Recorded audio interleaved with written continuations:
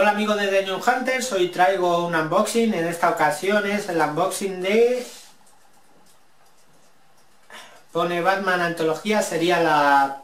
creo que se dice así, tetralogía. Y bueno, son las pelis que se hicieron antes de la hora eh, super premiada, alabada, taquillera trilogía de Christopher Nolan, es decir, son las, las cuatro pelis, las dos primeras de Tim Burton, y la tercera y la cuarta de Joel Schumacher. Si os fijáis bien, pues eh, está en inglés. Está en inglés porque es la, edición inglesa. Es un pack con las cuatro pelis y es eh, pues mi primera compra a través de Amazon. el motivo de la compra, pues eh, sin duda el precio.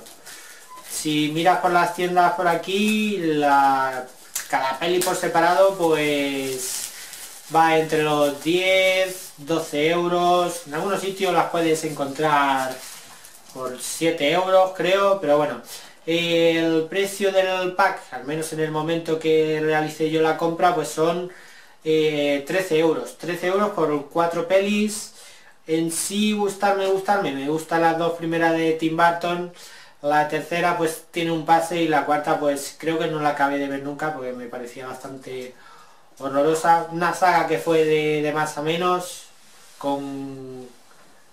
Sí, son tres Batman diferentes, el primero Michael Keaton, el segundo Val Kilmer y por último George Clooney, que nadie se acuerda, pero sí, George Clooney hizo de, Batman. Y pues eh, ya lo he abierto. Y una vez abierto la cajita, pues viene dos estuches. Aquí viene la primera y la segunda parte, Batman y Batman Returns, y aquí viene Batman Forever y Batman y Robin. Mm, digamos que la compra es por estas dos, pero bueno, si por el mismo precio pues me dan la tercera y la cuarta, pues, pues bienvenido sea. Y pues eh, a pesar de que es la edición inglesa, según ponía en, en Amazon, espero que sea así, eh, el audio viene en castellano y los, los extras también. Y pues la verdad que tiene pinta de estar bastante cargadito de extras. Y bueno, saldré de dudas en cuanto lo pongan en el, reproductor, que como ya lo he abierto, pues voy a salir de dudas bastante pronto. Y pues de ser así, pues la verdad que voy a rebuscar bastante más por, por la red en lugar de ir a, a tiendas y me voy a comprar bastantes cositas de importación. Entre otras cosas aparte de que salga más barato porque tema de extras y de ediciones pues muchas no, llegan aquí a España. La verdad que no sé si por tema de piratería o por qué pero en fin.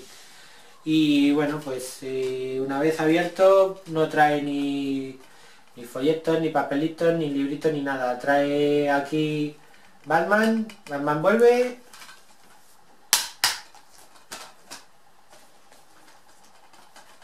y la tercera y la cuarta. Batman Forever y Batman y Robin. Y en fin, pues eh, poco más que añadir. Creo que son unas pelis que pues están bastante bien, sobre todo la primera y la segunda. Y bueno, tienen actores bastante famosos. Un poco el casting era por la época, si eran si gozaban de más o menos éxito en su momento y pues eh, un personaje que parecía que había tocado fondo con la horrorosa Batman y Robin, que se ve que fue un absoluto fracaso y que parecía que no, iba a alzar el, vuelo, pero que con la, con la trilogía de Christopher Nolan, pues ahora pues otra vez está en la cima Batman y que lo, veremos en la, nueva peli de, de Superman en esta ocasión será Ben Affleck el que le preste el rostro y a ver qué tal lo hace. Hay mucha gente que no le gusta la elección de, Ben Affleck para el papel, pero bueno, ya antes de, crucificarlo y decir que no gusta, pues a ver qué tal luce en pantalla, cuando haya un trailer o lo que sea, porque solo se sabe, Ben Affleck va a ser el nuevo Batman. No, no, por favor, no. Que lo crucifique, no puede ser Batman. En fin, ya ya se verá si, se han acertado con la elección del, del actor o qué. Y poco más que decir, ya las volveré a ver porque hace mucho tiempo que no las veo, pero me parecía una buena compra por el, por el precio que me ha costado y, y poco más que añadir. Eh, darle a me gusta, suscribiros al canal y ver todos los vídeos de The New Hunter para estar a la última. Hasta luego.